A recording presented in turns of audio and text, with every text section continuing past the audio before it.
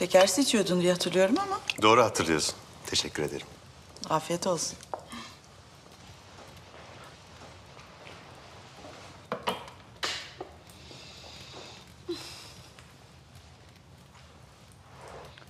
Ee, ne zaman dönüyorsun Roma'ya? Oradaki evi sattım. Artık Türkiye'deyim. Aa, nasıl oldu bu? Bilmem. Memleket hasreti herhalde. Yapma Allah aşkına. 20 yıl sonra mı geldi aklına? Ee, yaşlanıyoruz hemşire. İnsan yaşlandıkça memleketi bir başka özlüyor. Aman bırak. Hem kim bilir kaç kadının kalbini kırdın oralarda. Herhalde sonunda senin ülkeye girmeni yasakladılar değil mi? Ha? Artık yerleşik bir hayata geçmek istiyorum. Hayatta inanmam. İki gün sonra sıkılıp hop ortadan kaybolursun. Yok, bu sefer gerçekten ciddiyim. Bir iş kurmayı planlıyorum. Öyle mi? Nerede? İstanbul'da. Belki de İzmir'de.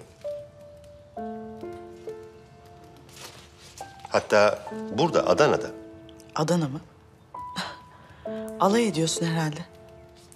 Bir süre buradayım. O zaman rica ederim artık otelde kalma. Burası kafi derecede büyük. Hem Orhan gittiğinden beri çok yalnızlık çekiyorum. Kaçtığımdan beri demek istiyorsun herhalde. Bu kitap da onun olmalı. Çok manidar. Rica ederim abi. Zaten yeteri kadar müteessirim. Müteessir olma kardeşim. O adamdan kurtulduğun için şanslısın. Orhan'dan hiçbir zaman hoşlanmadığını biliyorum abi ama Orhan seninle maddiyet için evlendi Seher. Genç bir kızken bunu idrak edemiyordum belki. Ama herhalde haklı olduğumu itiraf edersin şimdi. tercihlerim seni hiçbir zaman memnun etmedi abi. Ama ben yaşadığım hiçbir şeyden pişman değilim. Emin misin? Senin anlamana pek imkan yok. Niye? Çünkü sen hiç aşık olmadın.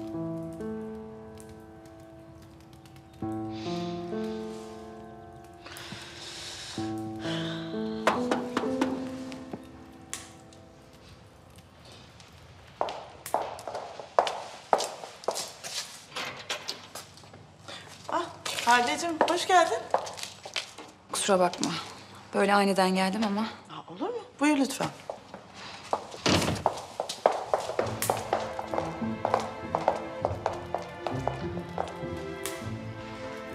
Bu ne güzel bir sürpriz. ben rahatsız ettiysem daha sonra uğrayayım. Aa, olur mu? Yok işte rahatsız etmiyorsun. Zaten özel bir şey konuşmuyorduk. Buyurun oturun. Buyurun. Buyur lütfen.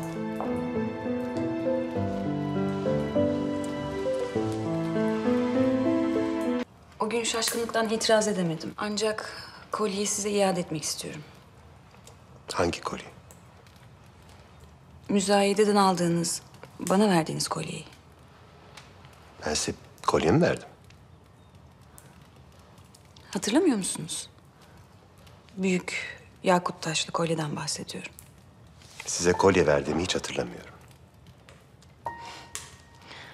Ben yine de iade etmek istiyorum.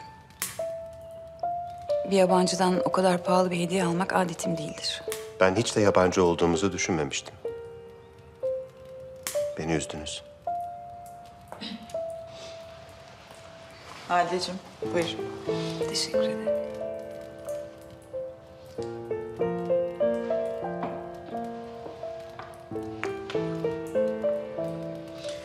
Kemal'in tahliye olmasına çok sevindim. Orhan yüzünden birinin daha canı yanmadı en azından. Kemal kim? Ha Kemal, Halide'nin eşi.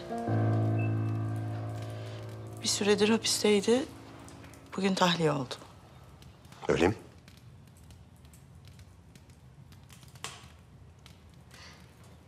Niçin güldünüz? Sizin gibi güzel ve zarif bir kadının bekar olduğunu düşünmek bir aptallıktı tabii. Ya da hayalperestlik diyelim. İltifatınız için çok teşekkür ederim. Lakin Bizimki bitmek üzere olan bir evlilik. Kemal hiçbir zaman bana uygun bir eş olamadı. Ailemize kendi sınıfımızdan olmayan birini dahil etmek büyük bir hataydı sanırım. Kadınlar en büyük hatayı ne zaman yaparlar biliyor musunuz Halide Hanım? Aşık oldukları zaman.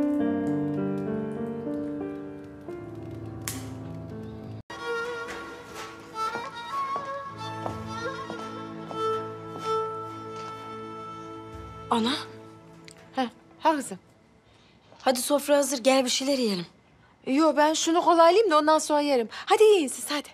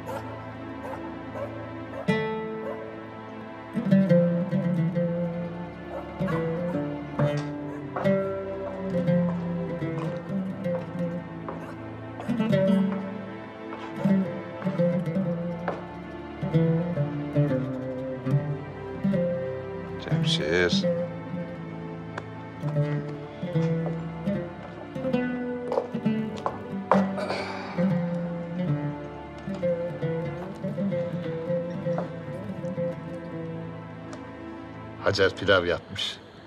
Yanında da cacık. Seversin sen ha? Hacer!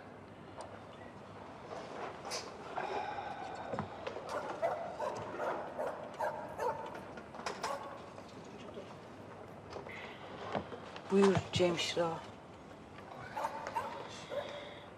Hadi git sen.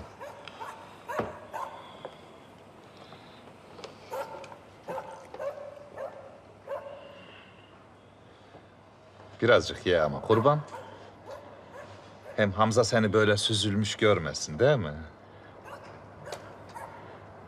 Ramazan mektubu yazmayacak Reşit. Ne? Ramazan mektup yazarsa. He. Belki Hamza kurtulur dediydi avukat. Muzaffer Bey'in akrabası yazmalıymış. O vakit Muzaffer Bey'in kan yakını Halide Hanım var. O yazsa makbul değil miymiş? Yazar mı ki kurban? Niye yazmazsın ya? Halide Hanım terstir merstir ama neticede kadın. Değil mi?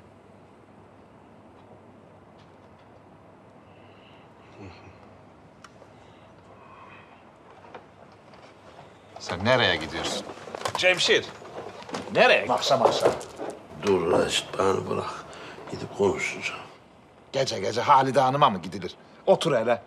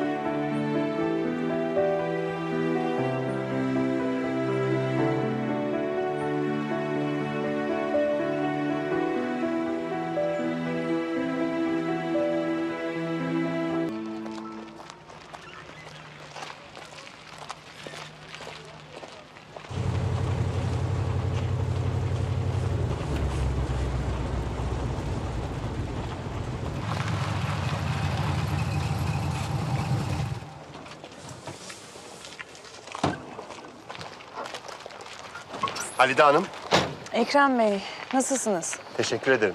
Siz nasılsınız? İyiyim, sağ olun. Gideceğiniz yere götüreyim isterseniz sizi. Lüzum yok, çok teşekkürler. Ben şuradan bir kere suya bineceğim. Ama görüyorsunuz hava çok soğuk. Üşüteceksiniz. Hadi, hadi lütfen.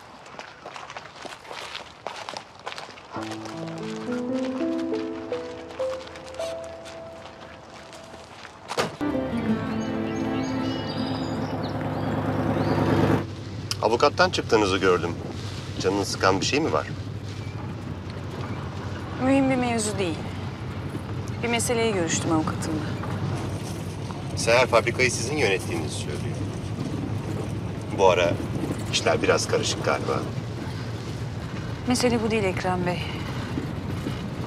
Ben kocamdan boşanıyorum. Dilekçe vermeye gittim avukatıma. Kutlarım. Yani buna üzülmeniz değil, sevinmeniz lazım değil mi? Niçin? Evlilik insana pranga vurmaktan başka hiçbir işe yaramaz. Sevgili Halide. Bana kalırsa artık hür bir insan olmanızı kutlamanız lazım. Ayrıca bir kapı kapanmadan bir diğeri açılmaz.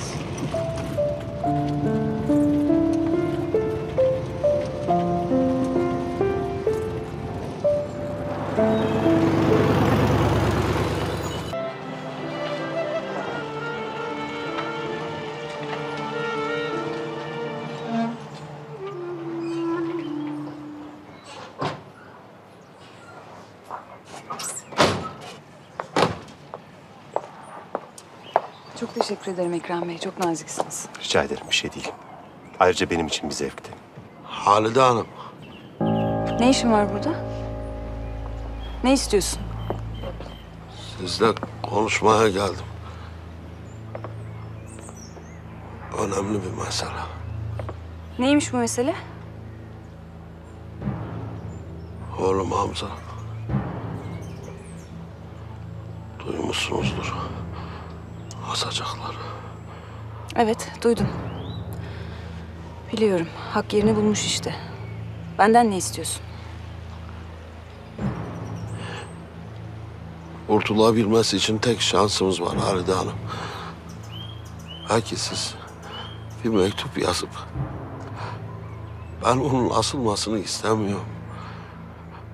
Affettim derseniz Sen ne dediğinin farkında mısın?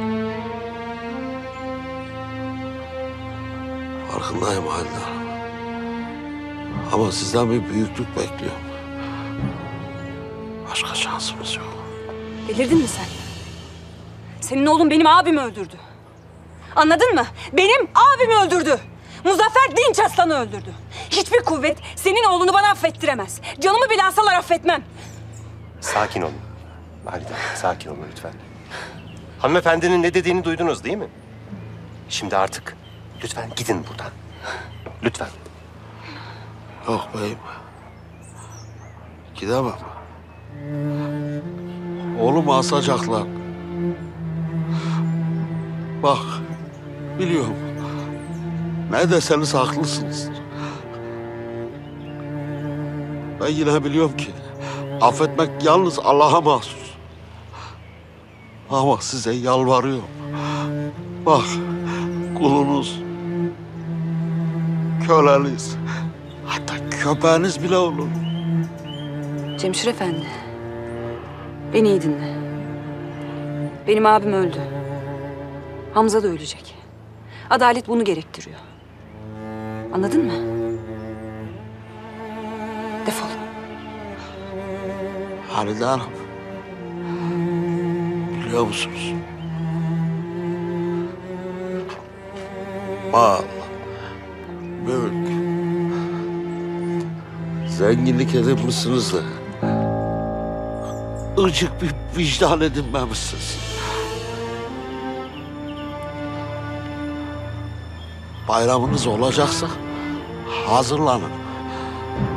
Hamza'mı asacaklar.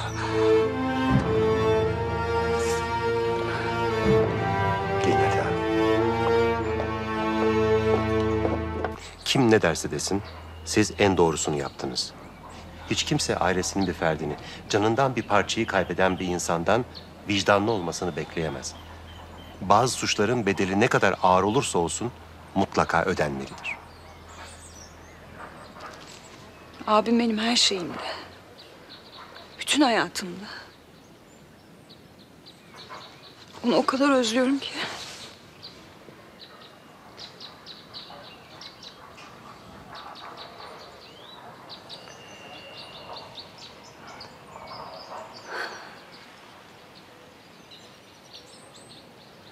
Kanalımıza abone olarak tüm videolardan anında haberdar olabilirsiniz.